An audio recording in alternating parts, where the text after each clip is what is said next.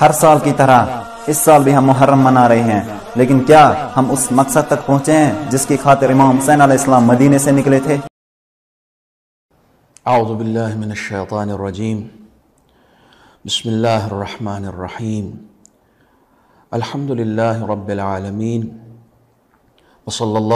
सय्यदिना मुहम्मद व आलिहि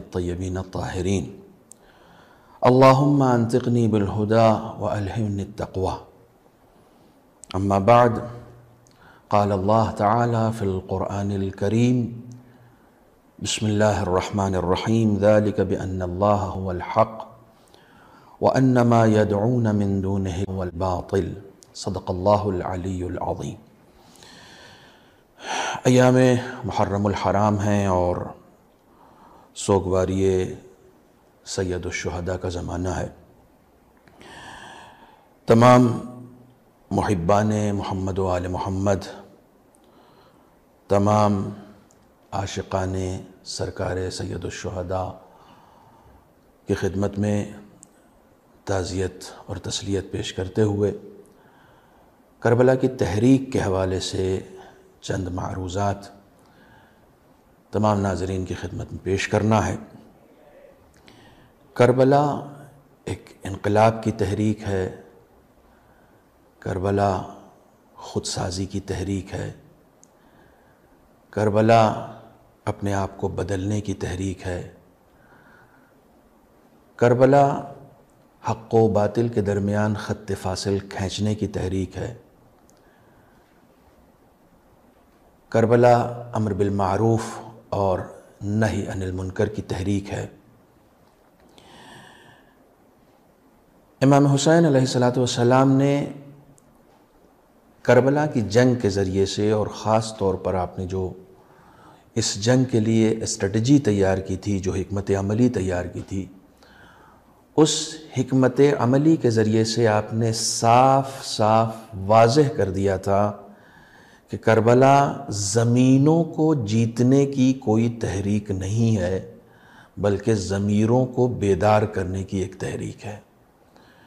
जब ज़मीनों को फतह किया जाता है तो वहाँ फ़ौजों की, लश्करों की, तलवारों की, असलहों की ज़रूरत पड़ती है।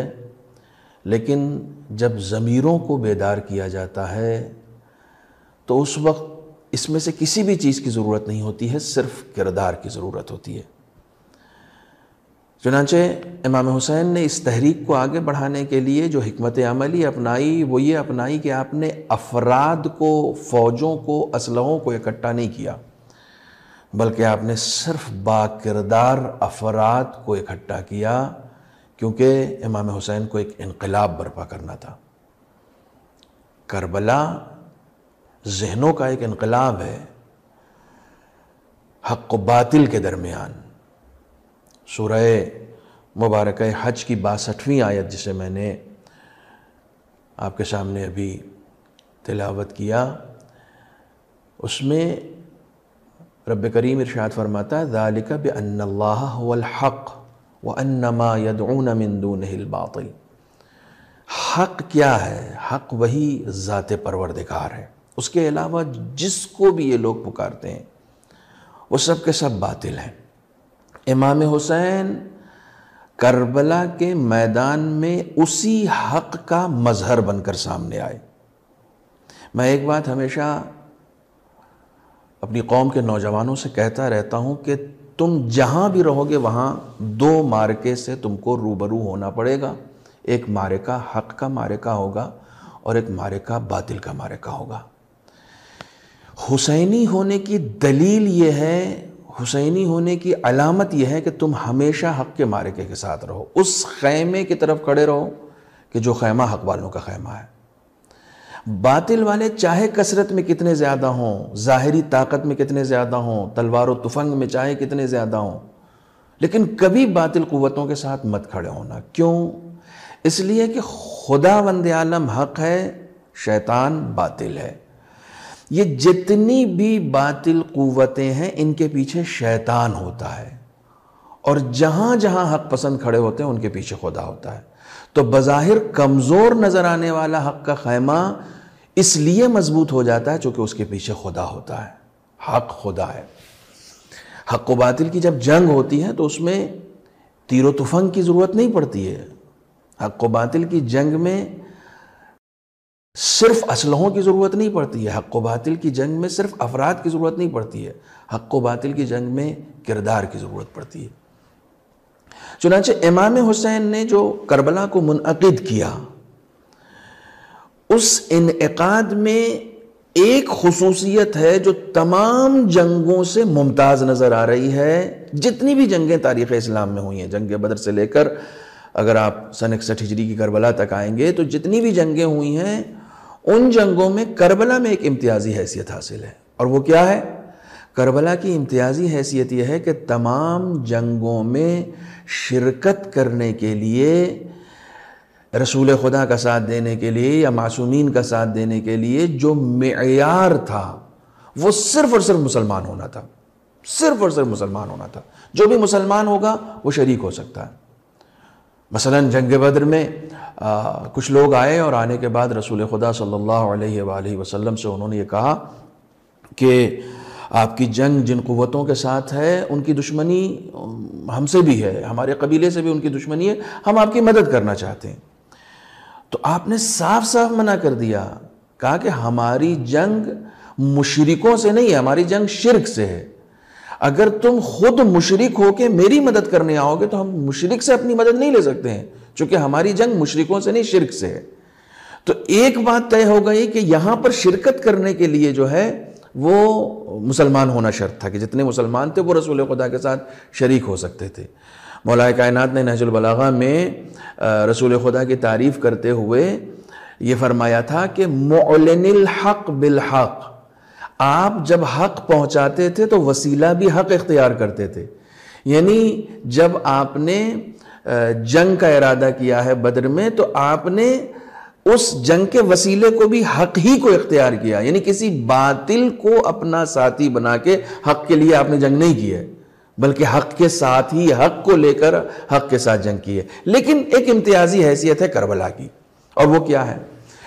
तमाम जंगों में शिरकत का जो मैार है, वो मैार ये है कि जो मुसलमान होगा, वो शरीक होगा। लेकिन करबला के मैदान में सबसे बड़ा मसला यह है कि जो जंग हो रही है, वो भी मुसलमानों से हो रही है। तो यहाँ पर सिर्फ़ इस्लाम शर्त नहीं है जंग के लिए, इमाम हुसैन का साथी होने के लिए, इमाम हुसैन की तरफ़ से जंग करने के लिए। बहुत सारे लोग हैं जो मदीने में जिनको इमाम हुसैन छोड़ कर गए बहुत सारे ऐसे लोग हैं जो मक्के में हैं, जो इमाम हुसैन के साथ जाना चाहते हैं, लेकिन इमाम हुसैन उनको नहीं ले जाना चाहते बाज़ किताबों में ये दर्ज किया गया है कि जिस वक्त इमाम हुसैन खान काबा से चले थे, करबला के लिए तो उस वक्त तकरीबन पाँच सौ, साढ़े पाँच सौ अफराद आपके साथ लब्बैक या हुसैन का नारा लगा रहे थे। लेकिन इमाम हुसैन लेकर नहीं गए सबको। ये लोग थे, कुछ देर तक साथ थे, कुछ मंजिलों तक साथ थे। जैसे जैसे इमाम हुसैन तकरीर करते जाते थे, लोग छटते जाते थे। क्यों हमत अमली इमाम हुसैन की? इमाम हुसैन ने शुरू से अपनी हमत अमली साफ़ कर दी थी। हमत अमली क्या थी कि मुझे सिर्फ़ नारा लगाने वाले, सिर्फ़ शोर करने वाले, सिर्फ़ हंगामा आराई करने वाले, सिर्फ़ ज़ाहरी कलमा पढ़ने वाले नहीं चाहिए। बल्कि इमाम ने यह शर्त लगा दी थी कि किसी के दामन पर किरदार के एतबार से कोई दाग नहीं होना चाहिए। किसी की गर्दन पर कोई हक है, वो मेरे साथ नहीं जा सकता। किसी ने किसी का कत्ल किया है, वो मेरे साथ नहीं जा सकता। किसी ने किसी का हक पामाल किया है, वो मेरे साथ नहीं जा सकता। जिसकी जिसकी गर्दन पर कोई हक है, वो मेरे साथ नहीं जा यानी किरदार के एतबार से जो बिल्कुल पाकिज़ा होगा, वही जा सकता है। तो हुसैनी बनने की पहली शर्त क्या हुई? हुसैनी बनने की पहली शर्त यह हुई कि किरदार में आपके किसी तरह का कोई धब्बा, कोई दाग नहीं होना चाहिए। पहली करबला की नेव जो इमाम हुसैन ने रखी है। अब आप ज़ाहरी तौर पर देखिए कि तमाम जंगों में जो मैार है कि मुसलमान होना चाहिए, इमाम हुसैन का मैार ज़रा सा इससे मुख्तलिफ़ है। इमाम हुसैन को अगर किरदार वहब कलबी में नज़र आया है, जहाँ ज़ाहरी तौर पर इस्लाम नहीं है, अगर किरदार वहाँ भी नज़र आया तो आपने उसको चुन लिया है। कलमा हम पढ़वा सकते हैं। किरदार किसी का कैसे पाकिज़ा किया जाएगा? लेकिन अगर किरदार किसी का पहले से पाकिज़ा है तो उसको कलमा पढ़ाना आसान है। तो इमाम हुसैन वहब कलबी को लेकर आ गए। इमाम हुसैन दूसरे फिरकों से लोगों को लेकर आ गए। कि हाँ आप आ सकते हैं। लेकिन किरदार के साथ कोई समझौता नहीं है। बद किरदारों को इमाम हुसैन ने अपने साथ खड़े नहीं होने दिया। क्यों? इसलिए कि तुम्हारी जंग बातिल से है। और अगर बातिल से जंग करनी है तो बातिल का एक धब्बा भी तुम्हारे दामन पर नहीं होना चाहिए। तुम्हारे अंदर, तुम्हारे वजूद में, तुम्हारी जात में हक होना चाहिए। जब तक वो हक तुम्हारी जात में नहीं होगा, उस वक्त तक तुम बातिल से नहीं लड़ सकते हो। पहली स्ट्रेटजी है इमाम हुसैन की। किसी तरह के गुनाह का दाग अगर किसी के दामन पर है तो वह इमाम हुसैन के साथ नहीं जा सकता। गुनाह बातिल की अलामतें हैं। बातिल अगर खुद इंसान के अंदर होगा तो वो बातिल से कैसे जंग करेगा? बातिल से पहले दूरी इख्तियार करो, खुद को पाकिजा करो। ठीक है? हाँ कोई अगर किरदार वाला नहीं है मसन किसी के यहाँ गुनाह का धब्बा है, किसी के यहाँ कुछ हक तलफियाँ हैं, लेकिन ऐसा नहीं कि इमाम हुसैन ने उसके लिए रास्ता बंद कर दिया है, कि नहीं, तुम नहीं आ सकते तुम्हारे यहाँ किरदार में कमी पाई जाती है, तुम्हारे यहाँ गुनाह पाया जाता है। इमाम हुसैन ने रास्ता बंद नहीं किया। इमाम हुसैन ने हुर को शामिल करके बताया है। कि तौबा के दरवाजे से भी आना चाहते हो तो आ सकते हो। यह है करबला। तौबा का दरवाज़ा खुला हुआ है। इस हवाले से भी आना चाहते हो तो आ सकते हो। लेकिन पहले तौबा करनी पड़ेगी। पहले अपने आप को पाक करना पड़ेगा। हक के लिए खड़ा होना है, पहले हक का मजहर खुद को बनाना पड़ेगा। हुर लश्कर छोड़ के आया था। सिपाहियों को छोड़कर आया था। असलहे छोड़कर आया था। बातिल को छोड़कर आया था असल में। हक के साथ जब खड़ा होना चाहता था तो असल में वो बातिल को छोड़कर आया था। इमाम हुसैन के साथ अगर किसी को खड़ा होना है तो उसको बातिल को छोड़ना पड़ेगा। बातिल कुवतों के सहारों को छोड़ना पड़ेगा। बातिल कुवतों के असलहों को छोड़ना पड़ेगा। बातिल कुवतों के रिश्तों को छोड़ना पड़ेगा। जब रसद के कोई चापलूसी करे। उन रिश्तों को भी, उन नातों को भी छोड़ना पड़ेगा जो बातिल कुवतों के साथ हैं। तब तुम आकर इमाम हुसैन के साथ खड़े हो सकते हो। और जब तुम इमाम हुसैन के साथ खड़े हो जाओगे तो इमाम हुसैन ने कहा कि खुद को पहले हक का मजहर बनाना पड़ेगा। जब तुम हक का मजहर खुद को बना लोगे तो तुम बातिल कुवतों से लड़ सकते हो। बातिल कुवतों से लड़ सकते हो। लड़ने के लिए खुद करबला की स्ट्रेटेजी नहीं बताया कि तलवार की ज़रूरत नहीं है। तलवार की ज़रूरत होती तो जनाब अली असगर कैसे लड़ते? तलवार की ज़रूरत अगर लड़ने के लिए होती तो जनाब अली असगर कभी नहीं लड़ते। वो करबला में शहीद होकर बाबुल हवाइज बन गए। कैसे बन गए? इमाम हुसैन ने बताया कि हक का एक मजहर अली असगर भी है। अली असगर जैसी शख्सियत भी अगर बातिल कुतों के सामने लड़ना चाहती है तो लड़ भी सकती है, शहीद भी हो सकती है, हक को बचा भी सकती है और किसी तरह की जाहरी कुत की उसको ज़रूरत भी नहीं है। क्यों? इसलिए कि हक का अपना एक ज़ाती वजूद होता है। हक का अपना एक ज़ाती वजूद होता है। बातिल का कोई ज़ाती वजूद नहीं होता है। हदीसों में बातिल को पानी के बुलबुले से ताबीर किया गया है। पानी का बुलबुला बुलबुला उसी वक्त तक रहता है जब तक पानी रहे। पानी नहीं होगा तो बुलबुला नहीं होगा। ये बुलबुला पनपता ही पानी के दम से है, यानी पानी के ऊपर है। बातिल अगर कभी सर उठाता है ना तो हक के बलबूते या हक के लिवादे में आता है। उसका अपना कोई जाति वजूद नहीं है, वो खुद को पहचानवा नहीं सकता है। मैं इसकी तरफ़ इंशाला बाद में आऊँगा। जब कभी तुम बातिल कुवतों को सर उठाता हुआ देखो तो हक के साथ खड़े हो जाओ बस। कहीं पर अगर अंधेरा होता है ना तो शमा को वहाँ तलवार लेकर नहीं आना पड़ता अंधेरों का सर काटने के लिए। शमा को वहाँ तेगो तुफंग लेकर नहीं आना पड़ता कि हम अंधेरों से जंग करेंगे। शमा का काम सिर्फ़ ये होता है कि वो आ जाती है। हक है वो, उसका अपना ज़ाती वजूद है। जैसे ही वो शमा आती है, अंधेरे खुद ब खुद नाबूद हो जाते हैं, जुल्मतें खुद ब खुद फना हो जाती हैं। शमा ने कौन सी, कोई जंग की है? शमा ने किसी का सर काटा है? नहीं शमा सिर्फ़ डट गई जुल्मतों के मुकाबले में। नूर जब जुल्मतों के मुकाबले में आ जाता है तो उसको लड़ाई करने की ज़रूरत नहीं पड़ती है। उसका सिर्फ़ आना काफ़ी है। बस वो नूर होना चाहिए। नूर के नाम पे धोखा नहीं होना चाहिए। फरेब नहीं होना चाहिए। नूर का लिबादा ओढ़ के ना आए, हकीकत में नूर हो। उसी तरीके से इमाम हुसैन ने बताया, बातिल से जंग करने के लिए तुम्हारा अपना हक पसंद होना ज़रूरी है।